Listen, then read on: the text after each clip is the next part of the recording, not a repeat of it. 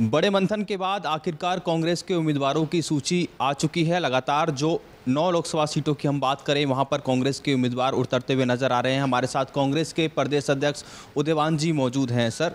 काफ़ी लंबा मंथन चला और कई बार हम आपसे भी बात करते थे। आप भी कहते कि, समय आने पर सूची देखने को मिलेगी। अब सूची आ चुकी है। किस तरीके की तैयारी सर कांग्रेस आप देख रहे हैं सूची जिस तरह से आई है और लोगों के अंदर जितना उसका रिस्पॉन्स मिला है जो उत्साह जो उमंग जो लोगों के एकदम ये संकेत गया है सीधा कि कांग्रेस पार्टी भारी बहुमत से पूरे हरियाणा प्रदेश में आने जा रही है। और ये सारे दस के दस सीटों पर कांग्रेस और इंडिया जो गठबंधन के जो साथी हैं, आम आदमी पार्टी, वो दस के दस सीट जीत कर जाएँगे। सर, दावेदार तो काफ़ी थे। आप खुद कहते थे कि काफ़ी लंबी लिस्ट है और उसमें से हम दावेदारों में से चिन्हित कर रहे हैं। हालाँकि अब उम्मीदवार ग्राउंड में है। जिस तरीके से भिवानी महेंद्रगढ़ की बात करते हो स्वीति चौधरी वहाँ से दावेदार थी। गुरुग्राम में हालाँकि अभी आप लोगों ने उम्मीदवार नहीं उतारा। है इसी तरीके से अलग से दिव्यांशु बुद्धि राजा यूथ के नेता हैं, उनको भी आप लोगों ने मौका दिया है। पूर्व मुख्यमंत्री के खिलाफ वो चुनाव लड़ते हुए नज़र आएँगे। बिल्कुल, पूर्व मुख्यमंत्री के खिलाफ चुनाव लड़ेंगे। हमारे यूथ कांग्रेस का प्रदेश अध्यक्ष है, पहले एन का प्रदेश अध्यक्ष रहा है, बहुत मज़बूत धाकड़ देता है, बहुत अच्छी टीम है और करनाल में जो लोगों का जो फीडबैक था, वो उसके पक्ष में था और इसलिए वो बहुत मजबूती से चुनाव लड़ेगा और जीतेगा। उसी तरह से जिस तरह से आपने कहा श्रुति के बारे में, वहाँ पर दान सिंह को कैंडिडेट बनाया है। दान सिंह चार बार से विधायक है सीनियर आदमी है और चारों बार उन्होंने जो सबसे जो कद्दावर नेता बीजेपी के, रामविलास शर्मा, उनको हराया। उस इलाके में उनका अच्छा वर्चस्व है। जो अहीर बेल्ट में वो टॉलेस्ट लीडर है कांग्रेस पार्टी के। और साथ में जो भिवानी का एरिया जो पड़ता है, भिवानी उनका खुद उनका जो गाँव भिवानी में पड़ता है, भिवानी के साथ ही। तो वहाँ लोगों की सबकी डिमांड को देखते हुए कांग्रेस नेतृत्व ने दोनों का विचार करते हुए, दोनों पक्षों की बातों को पूरे गौर से देखते हुए और इसमें लंबा पीरियड भी समय भी लगा, दोनों अच्छे उम्मीदवार थे। हमारे पास हर सीट पे कई कई उम्मीदवार अच्छे उम्मीदवार थे। वहाँ पर श्रुति भी अच्छी उम्मीदवार थी, दान सिंह अच्छे उम्मीदवार थे तो फैसला तो एक का ही होना था। दान सिंह का लिया है, उसके लिए बहुत उनको शुभकामनाएँ, और श्रुति के लिए आगे सारा पड़ा है। अभी चार महीने बाद चुनाव आ रहा है, विधानसभा का भी, और आगे सारा पड़ा है वर्किंग प्रेसिडेंट है पार्टी की। अच्छा मिल करके चुनाव लड़ेंगे। हिसार में एक बड़ा दाव आप लोगों ने फिर से खेला है जेपी उप जयप्रकाश जी जो वहाँ से हैं पूर्व केंद्रीय मंत्री भी उनको दोबारा से मौका दिया है जो जानकारी थी और उम्मीद थी कि जो बीजेपी में थे ब्रजिंदर सिंह वो कांग्रेस में आए थे उनके फादर हमेशा कहते थे कि मेरा बेटा वहाँ सिटिंग सांसद है उनको ही टिकट मिलेगी। तो सर वो आधार किस तरीके से? नहीं वो आपको लगता होगा इस तरह से कि बड़ा दाव खेला है। वो तो पहले से ही उनका बहुत मज़बूत दावा था। तीन बार वो मेंबर पार्लियामेंट चुने गए वहाँ से। केंद्र में मंत्री भी रहे दो बार एमएलए भी रहे हैं।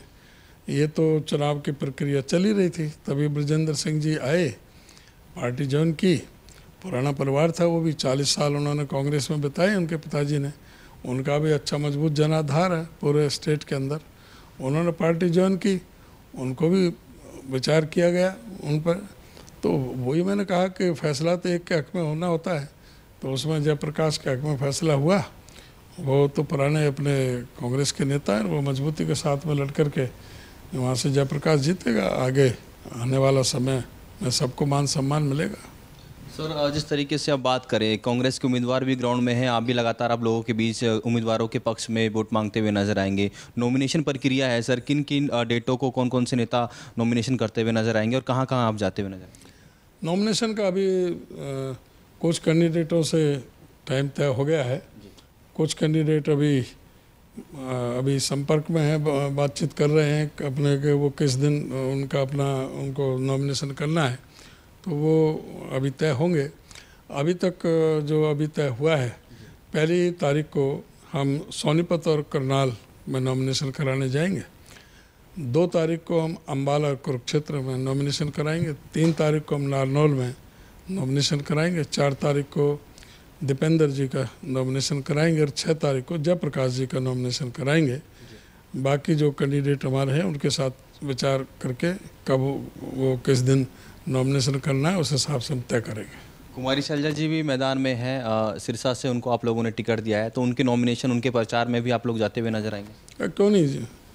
जहाँ भी आवश्यकता होगी जहाँ हमारी डिमांड होगी सब जगह जाएँगे जहाँ भी आवश्यकता होगी। एक आखिरी सवाल सर पूरे हरियाणा में 10 की 10 लोकसभा सीट पर किस तरीके का माहौल देखते हैं? कितनी टक्कर आप बीजेपी से मांगते हैं? क्योंकि लगातार बीजेपी कांग्रेस पर निशाना साध रही थी पर आपके भी अब मैदान ग्राउंड में है आप भी आप लोगों के बीच जाएँगे। बीजेपी का सुपड़ा साफ़ होना निश्चित है। इन्होंने जो काम किए हैं जो 10 साल की इनकम्बेंसी के साथ वो पहले तो पुलवामा और बालाकोट ले गए उनको राष्ट्रवाद का।